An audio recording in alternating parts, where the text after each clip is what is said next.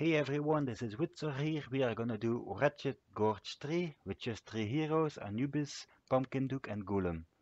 So when he's gonna do damage, I'm just gonna put it in slow motion so you can see it better.